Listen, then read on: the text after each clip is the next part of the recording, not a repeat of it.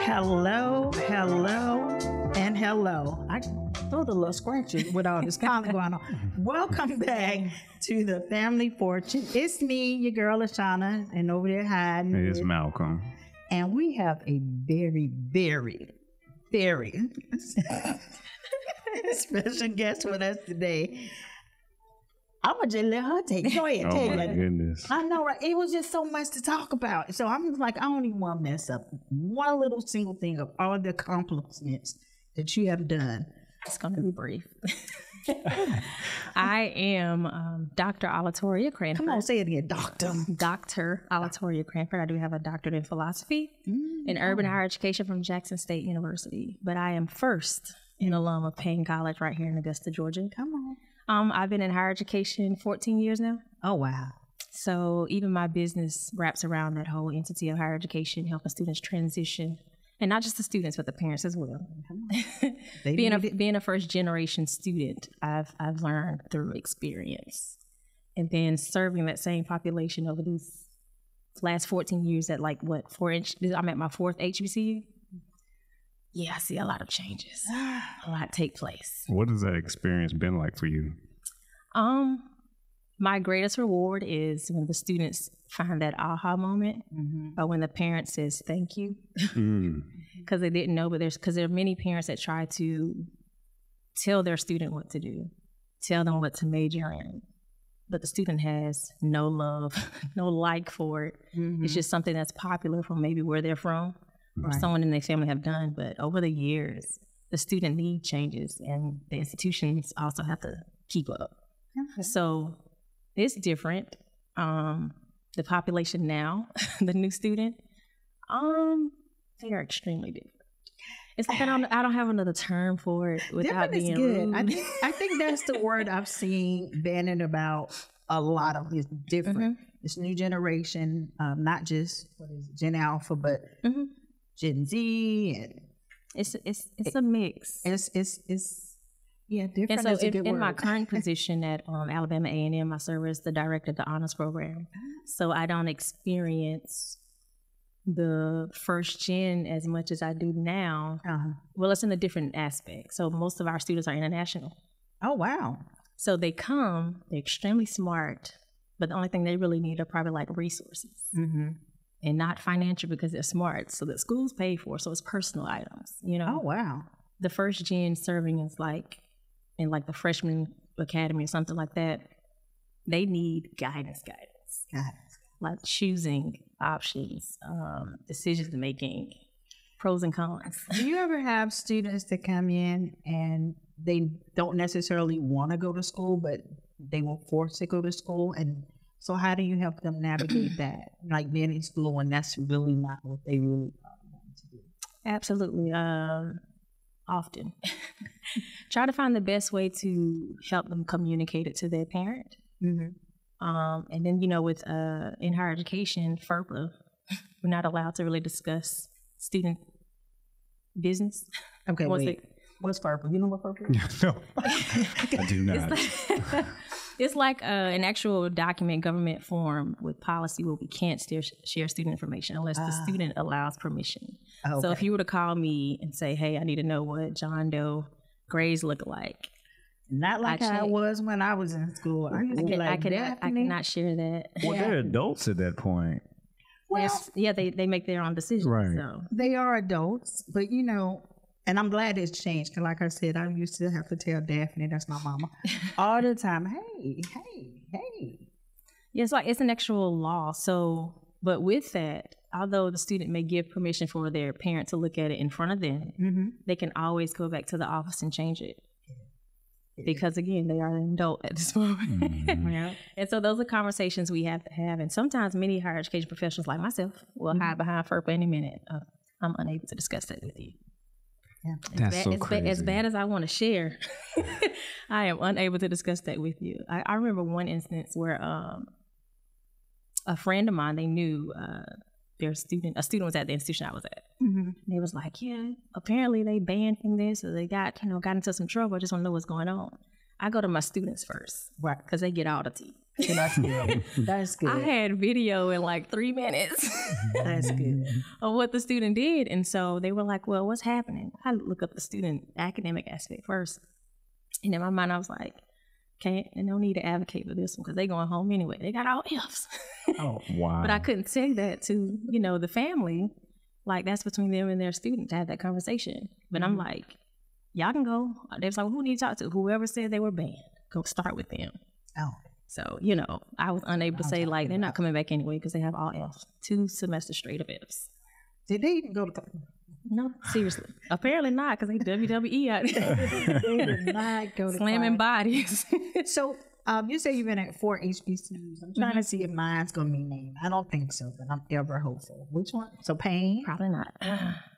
Payne College. Uh, oh, Fort Valley. Uh-huh. Yeah. Enemy. I remember now. I remember. Southern University, Baton Rouge, and uh, Fort Valley State University. Yeah, we're and not gonna talk about that Alabama. A and M. So we're not gonna talk about Yeah. that's. Unfortunately, Albany was didn't make the cut. Albany. How y'all say? Albany. now, was that by choice of sticking with HBCUs, or was that just kind of what opened up to you? In the beginning, yes, it Mhm. has always been HBCUs. Um, but lately, I feel like I need to step away. Mm. Only for the sake that I think uh, adja- adjacent higher ed roles will be more beneficial than being on the campus Mhm. because there are people in positions making decisions that they have no idea is happening on the campus. Mm. So it's almost like almost like the church. You know, they like to compare the black college to the black church. Everybody want to see the pastor. Everybody want to see the president. Mhm. We shouldn't always see the president, but we should see him, you know, in some form or fashion as it relates to support and advocate advocacy. Mhm. So um lately it's just been a lot of decision making happening that doesn't look good in many cases. So having people in positions, whether it be UNCF, Thurgood Marshall College Fund, College Board, SREB in Atlanta, advocating and working on policy for this space, Mhm. it's gonna always look good. Yeah, but you know, growing up, it and I can see it was the thing in the black community to go to a HBCU Mm-hmm. when at the time when I went, it wasn't necessarily a good thing as far as my education and further on because I, I walked away with a master's degree, Mhm. but ended up in the military. And that's Mm. because even though some of the educational aspects were there, a lot of the things that you may find either um, at a private college Mhm. or one of the, you know, the big four, what have you, Mhm. is like the internship opportunities, the work education opportunities. So it was more about the black experience on the campus versus what's going to happen once I graduate. Mm-hmm. I'm glad to see a lot of things have changed because when I went, it was Albany State College.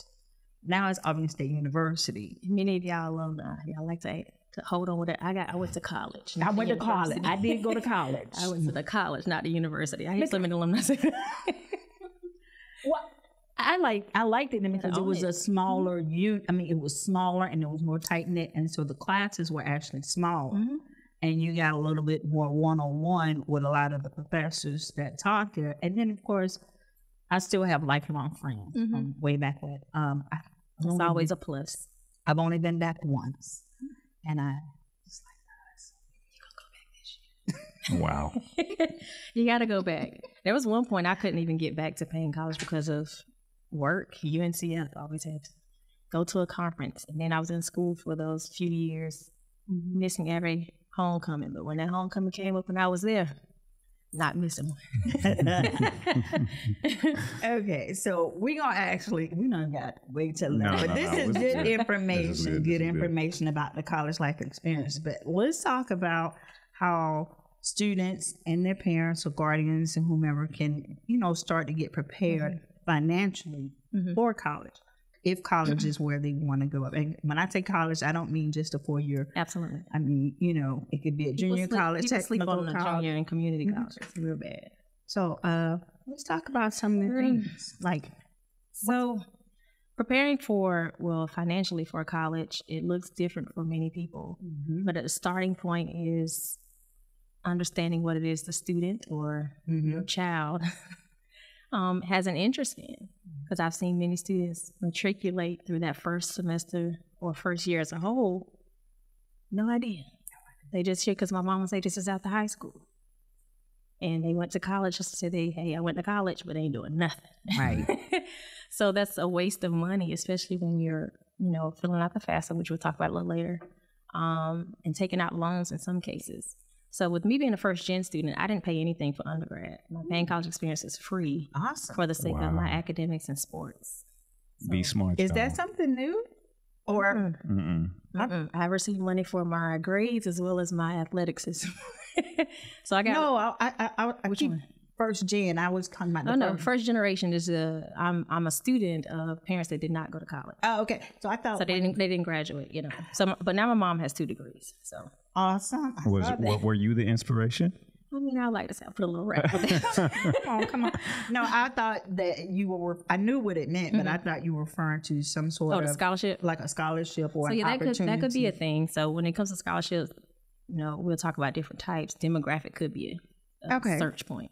Um, but as far as saving for college, it's just like saving for anything else. I remember growing up, my mom used to be like, "Oh, you need to save your money. You can tell me all day to save, but how you do it?"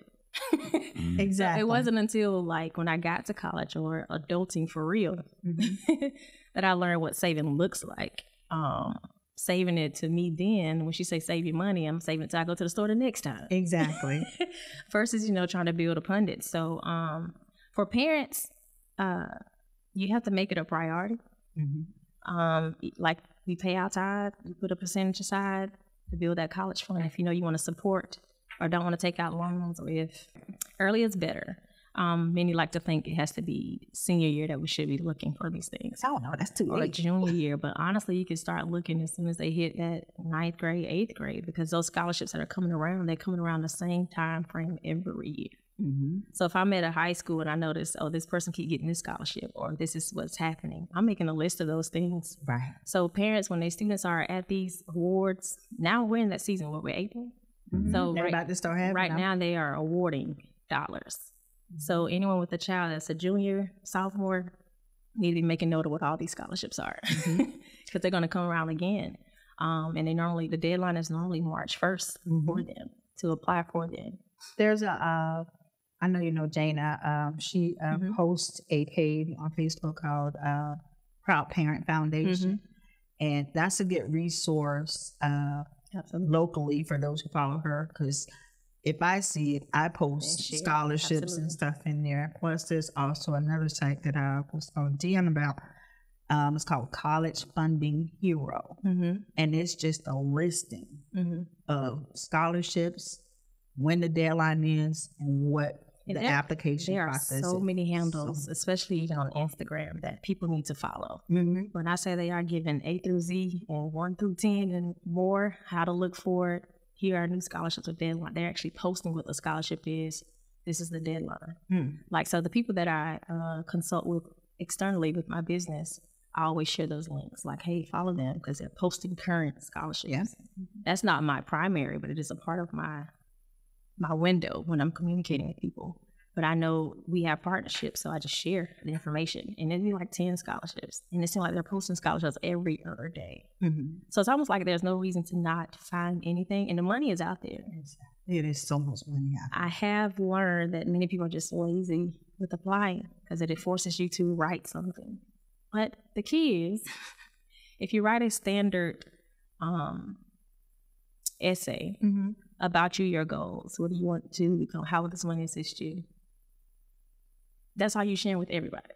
However, many people miss scholarship opportunities as well because they don't follow the instructions.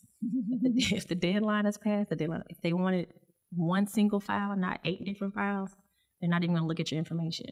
Like it's, it's that tedious. That's one of the things that I've noticed. Like I um, volunteered once at the Junior Achievement Discovery Center, um, and I'm the kids are very smart. They're so smart. They're so tech savvy and everything else. But while they're tech savvy, because their fingers move fast, they're not reading. And I just sit there and I'm like, did you actually read what you just did? Just I- moving. you just moving ahead, which is okay. But did you read? Because now you messed this up, Mm. or you no longer qualify for this loan because you didn't bother to read the application. So that's a key institute when applying for these scholarships. Make sure They you like read. being fast. Make sure you read. you have to read because some they may not even want an essay. They may want a three minute video, one minute video. Mhm. But they want a point. I mean, it varies like what they ask for. Um, so it's just paying attention to details, the deadlines, submitting how they want to. If they want PDF, do PDF. If they want PNG, use PNG. Mm. Whatever takes place, like to the detail, because that's how they really um, sort out Yeah. goals and no's. now, would you recommend to the parents that they don't do it for them? Mm, they need to do it together because many of your students they get to the campus, the parent be like, uh, "Go ask this." Then the student come back to the parent and say, "Well, they said, who's was they? You don't know what even office they was in, and it really becomes a headache. Even when they come to our offices asking for information, when they say I'm supposed to come here, who is they? Like, what does Mhm. that mean? So I think they should do it together because if there is an issue or if they need some clarity, they're only going to get the right answer if they ask the right question which is where many of them fail. So you want to do it together, but make sure they understand what's taking place. But if you're the one, I've heard parents say, "Well, I got to do this because I know they're not going to do it." Well, who graduate? Are, are they graduating? you know, and I, I hear it often, like I have to do it because they're not going to ABC. So that also let us know because we get to talk on our end too. That means you're doing their work too. Mm-hmm. That's why they don't know. We that. won't have to ignore the lawn guy that's right outside. I don't hear him in my headphones. I do, but that's okay. You know, I got extra Phone space in. here. I got extra space in here. But So- yeah, Thank you for that. So, FAFSA, you mentioned that earlier. Mhm. I know what the heck is that? Um, it's a free application for federal student aid. So FAFSA is a must to complete. Hmm. Um, Something else that's new. yeah, it is a must to complete if you want to receive free aid. Hmm. And that aid is not always scholarships. I know there's Pell Grant for some, um, Hope scholarship that may still exist in some areas, but it depends on what is taking place in whatever landscape or area that they're in. So enrolling in college, if your FAFSA is not completed, the institution may not move forward helping to get advised or enroll. Oh wow! They'll see it as an intent to not enroll if your FAFSA isn't completed. Or if you show up like, yeah, I'm coming, but the FAFSA isn't complete, they sit you to a computer, you got to do this first before you can go to the next step. So it's really just a way to gain aid. and it, doesn't, Oh. it doesn't hurt to apply. It does. And people think because you apply for FAFSA, you're automatically signing up for loans. Loans could be an option once they, you know, go through all of your fin- your parents' finances or whatever. But at the end of the day, it's really just giving you options. You choose. And see, that's so totally different when I went through. Mm-hmm. We used to have to go to the financial aid office, get this little thick packet Mm-hmm. They still got with, with the You said they don't do it no more. well, they don't read it. with the triple carbons, and then you, You know, get a sheet, you get a and then everybody get a sheet, and you know you had so. But you know, I stopped. hmm But since I already got my grade, but you know, I was time my name on the Mhm. dotted line. And so when I was an undergrad, I knew that I didn't have to pay for anything. So when they sent that little balance to the house, Mm-hmm. I was like, go to the financial aid office now. She wanted to be on the phone when I went there. Yep. So you have some parents like that. And I was like, all right, mom, ask now. Like she yelling on the phone. Mm. Like, hold on. but you know, you I mean, it's good to have some parents that are aware. And that's why I say they need to do those things together because the student may miss something. And there are many students, hey, they said I got a schedule, so I'm good to go, but they don't know the back end, which may it may have a balance. And we can get into it. Well, Oh, I know about that. I know that hasn't changed. The way they handle it may have changed, but yeah, you have a balance balance after a is certain balance. part. Um, excuse me. Thank you for being in attendance, but you now have to vacate. hmm And, but did y'all have payment plans? Was that a thing? I don't know. You know, I was I was a a thing now. I was a victim of the uh of the student loans, and that's only because I was like, mm. And not because I actually needed it, but you know, and that's why My masters had me a victim. Trying to get it done quick. Um, but yeah, they have payment plans now. So uh, several options to consider paying for college. So you fill out the FAFSA, uh, and you didn't you need to do it early. This year they opened it late Yeah, I saw something because was they had some on. changes. So Mhm. even for some institutions, their um, date has been pushed back to say that hey, this is the date of intent for the Okay. college. Um, Question: When you, when you say payment plans, what what do you mean by that? Um, because I'm thinking about when you get on a loan over time, you pay. That's a payment plan right there. When you pay back the loan, but are you talking about like not getting a loan and just paying the school monthly or something no, like your- that? Yeah, your loan is included with interest. The Mhm. payment plan is if your bill is eight hundred dollars, Oh, okay. paying two hundred dollars to that eight hundred is gone. hmm for that semester. Because in many cases, they would not, not many, most cases, well, all cases, I would say, if you have a balance at the end of the, say, if I- say I have a balance at the end of this spring term, they would not let me register for summer or fall. Because it's this term has to be cleared. Yeah. And one thing parents want to be mindful of when your student says, "Oh, my balance is gone," the school could have waived the balance just so they can register, but they still have that balance once they don't register for the classes. So they want to be they want to be, be sure to Ah. circle back to make sure the account really Like, get me a receipt. make sure the account says zero. So to just to be like, "Hey, I don't see the balance anymore." Okay, that's some, good. some institutions That's can good. waive it just so they can register if they're lower balances. Um, just being honest. But you always want to circle back and make sure that it is a clear balance, just in case. Because some schools have like emergency funding, so they do clear. Oh, But you just want to make sure it's receipt, like you said, it says zero.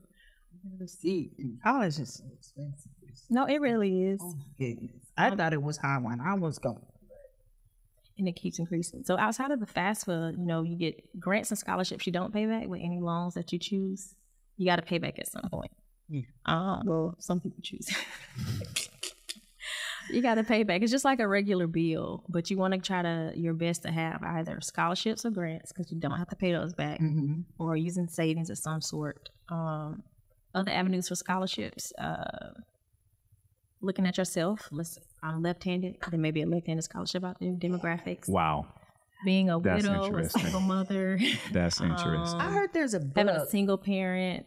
There, there are many demographics to consider when you're applying for scholarships. I think there's a book, and I don't know how often they update it. It's like a guide to scholarships. Mhm. It's, it's like you said, the A to Z and one that Mhm. 100 listing of all the available scholarships, and it's uh, I saw it Barnes & Noble one time, and it's divided by state and whatever. So I was like, wow, and it was a thick book. It was so yeah, there, there, there's so many um, aspects to consider, especially looking at yourself. Um, my father's deceased. There could be a scholarship for that. green eyes, who knows, could have a scholarship for that, you know. Um, but people create scholarships based off of their set parameters. So, like a scholarship at Payne College, for me, would be a female interested in STEM or biology. They could have to be from South Carolina. I can make it that that strict. You gotta have gray hair at the age of twenty. Yeah, I want to be that precise, you know. It's they create the scholarships to whatever stipulation they desire. So you want to look at you first when it comes to searching for scholarships, and then secondly, you want to look at the major Mhm. um, the campus, the schools, they have their general financial aid sites uh, with a list of scholarships, general. Mhm. However, if the student is aware of the major that they're interested in, those departments have additional money in some cases. So although I may get my academic scholarship from Payne because I had 3.5, that Mhm. money's coming. But I major in biology. The biology department has another scholarship because I'm you're a bio major or a female. you know. Wow, the money's Like, out there. You want to the look. money is You just got. You just gotta look. You just gotta look. Fill out that FAFSA. Yeah, the Read. FAFSA is a starter kit. Read what is required for the, the this FAFSA is the starter kit, and I can't stress that enough. It's the starter kit, not just for funding, but just to completing being enrolled in college, Mhm. and not let you move forward without it complete. and some other fundings um, opportunity out here or savings Mhm. opportunity is 529 plan. I had And a, you don't hear a lot of people talk about that. I had a 529 plan I started for my son um, when he was little. And they had this site, I don't even know if it's active anymore. It's called New Promise. And it was at the beginning of when online shopping, you know, my son's Mhm. grown. Uh, when the online shopping was becoming a thing. So Mhm. it was like you shop online through the Upromise. link, and um, The percentage. and the percentage would go through. So I saved a lot, and then you can invest it into a five two nine Mhm. plan. Uh, and so I saved a lot doing that. Now, thank goodness I found out. Uh, well, at, and at the time, you can only use the five two nine plan Oh, for college. So I, So we don't hear anything about that now. you had, but thankfully, where I hadn't invested, they they um, created an opportunity where you can switch it over because I knew by then that he was not going to go to school. Mm-hmm. That that was not going to be his uh, path forward. Mhm. So I was able to shift that money over. wow. Otherwise, it would have been lost because it's used um, primarily for Oh, well, education. plus. Yes, and I was like, dang, because I was about ready to choke him. I'm like, dude, I have no money.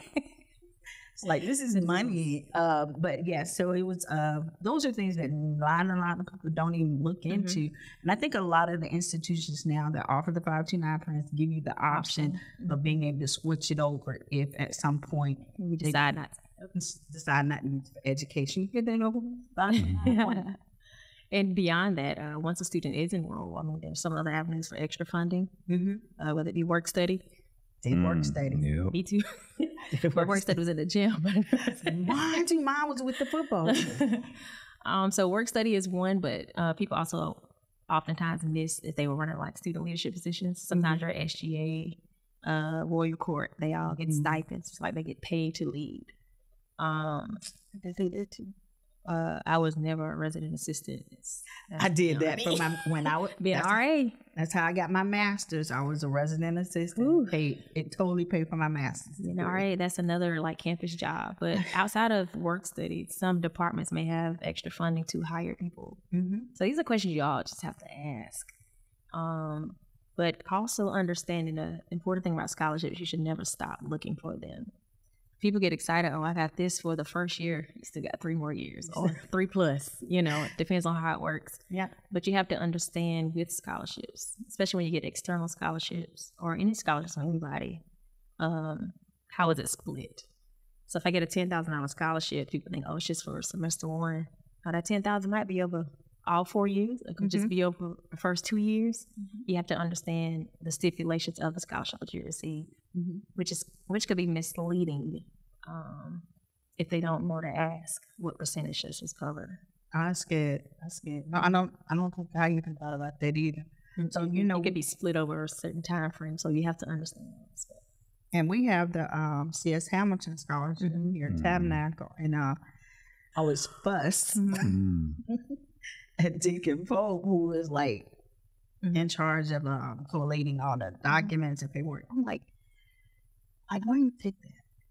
And but you know, our Mhm. thing is we're gonna give you the scholarship anyway. But I'm like, they're not even the kids aren't even invested. Why are you gonna submit your photo? Because you have to submit a photo. Okay. And you sitting up in the car leaning like this. Oh, And I'm like, Can't stand it. and I'm like, oh, like no. I was sending. I said, "Why you send it back?" And she, she's nicer than me, Mhm. so I'm like, "That's probably why I'm not on the committee." And, and look, and we get them right on in college. I'm like, what is this? I'm to the point now that actually some of our programming involves creating a professional profile, Good. taking Mm, headshots, Yes. because they know that many of the students have no idea. no idea. And as some long of the as- staff don't either, but that's another. As long as we keep accepting it, they're going to keep, Keep getting it. doing. It. We- I I can hear somebody now. I turn mine in like this. and they did. You know how and they do, or they're, you know, ladies, you know, Mhm. showing all your assets in, Oh, in, wow. in, in a photo for scholarships and college. no, no, no. Let's just do better. Yeah. So that, that's a part of the professional etiquette that we try to tackle in the first year of college Yeah. that they may not understand or grasp in the moment. I think I saw the title. Uh, what's the title of the of the um of the um class that you teach? Something about uh, college is not the oh, third. it's not 13th grade. I like, 13th grade. I Wow. like that. And that is my ongoing tag for when I talk about transitioning. yeah. And that's for the student and the parent. Mhm. Like parent, we want you to support, but we need them to grasp it because you ain't gonna leave. so yeah, it's Mhm. not 13th grade, and that goes, you know, making the transition personally, professionally, academically, finding friends, knowing that hey, no one is calling your phone or setting an alarm to wake you up. That's on you. Mhm. Professor's not gonna track you down and be like, hey, I missed you. You missed this assignment. I need you to turn in. It's a zero. It's a zero. It's up to you to go and advocate for yourself. Self advocacy is a big thing too that they're learning know, within the classroom. I mean, of course, they're gonna march and do silent protests outside. Yeah, that college and that's for student engagement, but for the classroom aspect, it looks different. that college experience is something awful. Um, I joke when I say this, but I'm actually being dead serious. I don't remember my freshman year a lot because you know I was experiencing college Mhm. life. However, thank God every day that even though I don't remember a lot of what was going on, Mhm. I never missed class, and I had all them eight o'clock classes, and I my point average never dropped. I was I was living the dream, living the life. And then that, you know, being an athlete, I don't know, my freshman year, they were like, yeah, we went to so and so for our new student orientation. Like, I think I was at practice. so I didn't really have like a true first year because being an athlete. So those are things to consider as well. Uh, when you want to do athletics, you have to meet a certain GPA, to have a certain test score in and outside of the classroom. You have to communicate with your professors, or than that, they may drop you from the class Mm-hmm. and you may lose scholarships if you don't have the Mhm. desired credit hours to meet that actual funding. So you have many students like I don't have 15 credit hours, which is a norm. 15 credit hours is like the minimum or the safe space. So if a student does drop, then now down to maybe 12 credit hours, they're still full time. Mm-hmm. But 15 to finish is the goal. 15 per semester should meet every credit hour or total number of credit hour for graduation. And then if you drop, it takes you to 12. You might pick up a class somewhere or at some point. But also keep it in mind, some institutions let you let you take up to 18 at whatever that standard price me. is, at whatever that standard cost is. But once you go past 18, it's an additional dollar cost. Mm-hmm. So when you're calculating the cost of college, look at your in-state, out-of-state, on-campus, off-campus, and if you're online, sometimes those fees are just different as well. Mm-hmm. So you want to have to look at all of that. I was an 18 hour student. They were Yeah, me too. Overachieving. overachiever. Okay. Oh my goodness. overachiever. Nothing wrong with that. But eight, 18 is a lot. You have any other questions? Nah, I my Your questions is- have been answered. Your mind over there spinning like. Man, it's showing up here. I got You a don't have somebody to graduate, do you? Mm, no, Oh, okay. no. I got a 13 year old, well, soon to be 13 year old, and I got to get her life together because, you know, Davidson, that's the school she goes to. It's, mm-hmm. it's very different from public school. Well, from when I was in middle school, it's mm-hmm. very different. And she's really on her own out there. Mm-hmm. And I get in conversations with her teachers, I look at her grades, and it's like she's doing the work.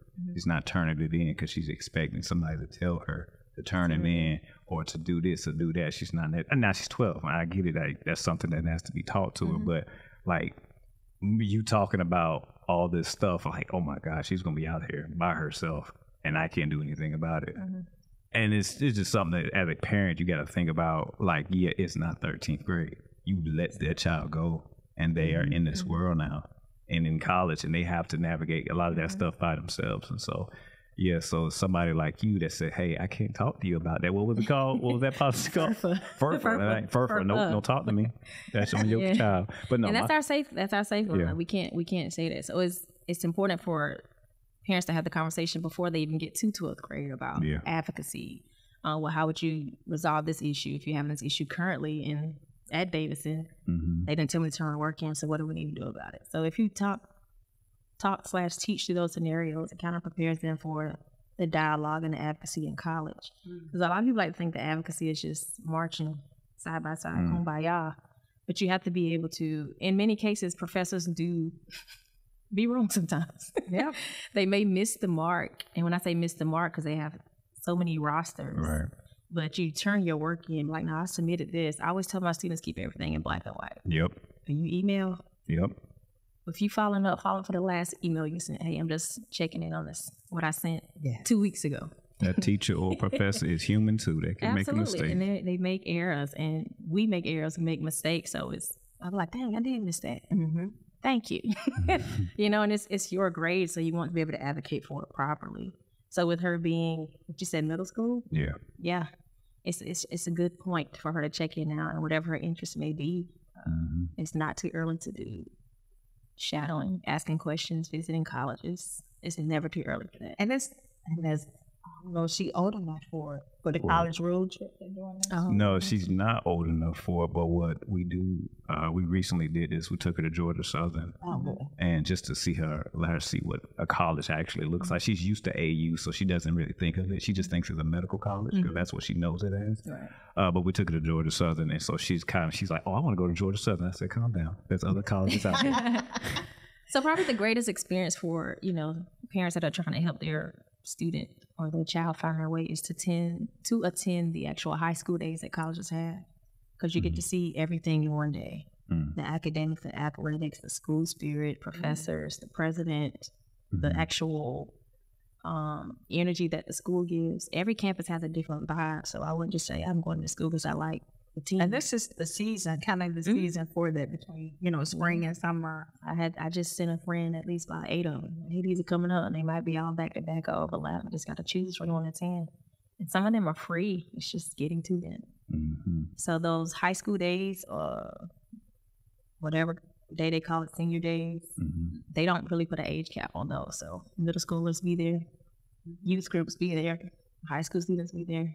Those that consider the transfer be there. you know, that's that's a good thing. Where'd she look into that?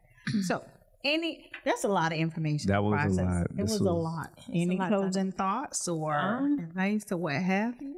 Um, a closing thought, I would say to utilize strongly the dual enrollment because that could also minimize the cost of college because you could be done in three years versus four. Mhm. So taking advantage of that early is a plus. Most schools offer most high schools Mhm. have that now. Mm-hmm.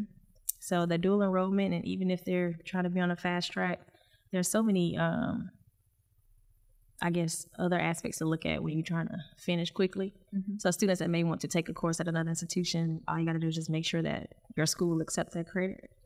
If I'm going home for the summer, I want to see if these cr- these classes going to transfer to my degree, and it helps minimize time. But again, you're paying for that as well. Um, so, as a closing remark, the money is there Mhm. Look for the money, apply yourself, write about yourself, know what you want to do, um, and continue to search for them because they do exist. Awesome. They do exist. The money is there. You hear that? The money, The money is there. there. Yeah. Make sure you go apply for it. Wow. Thank you so much. Like my mind is still spinning. I keep forgetting how long ago I went to school and how things changed. Oh, Benny. but so uh, families, students, make sure you listen to this episode and bookmark everything. Take notes. Take notes. so we thank Dr. Cranford for coming on and providing us all his wisdom. Mhm. And until the next time we meet, I'm Lashana, This is Malcolm. and I'm Dr. Cranford. and this is the Family Fortune. See ya. Thanks, my